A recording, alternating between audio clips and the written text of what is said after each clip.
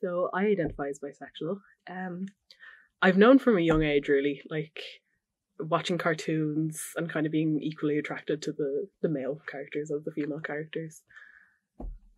Yeah, I don't I don't think there's ever a really big realization or anything. It was just kind of like, oh yeah, it's always in the back of my head. I guess growing up I'd always like all my crushes really would be on guys, but now looking back, I'd be like, oh yeah, actually my best friend, for example, like I I kind of at the like at this moment I'm like kind of like, oh yeah, like was there something more there?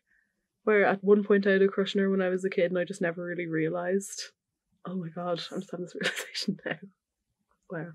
But um yeah. I think I've always I've always known. I don't think there's ever one big realization. So like in school, uh I was very, very lucky. I grew up in a very, you know, I had a very nice primary school experience, then followed by a very, you know, private South County Dublin secondary school experience. that everyone was just kind of like, everyone come out and be like, oh, you know, I guess, I guess being a girl as well, like there'd be loads of bisexual girls in my year, and I'd just be like, like it was like, oh yeah, whatever, like no one really cares. I guess it would have been really different if you were a boy. I think some of the boys got a bigger slagging than than the girls, which isn't really fair. But um, yeah, no, I don't think there was ever.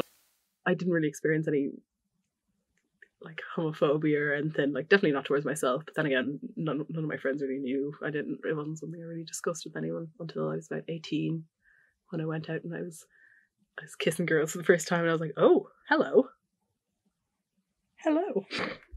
So if I had to sum it up with an object, I'd go with one of my VHS tapes from like when I was very young, four, five, six. Um, just the cartoon characters just being like, oh yeah, equally attracted to them.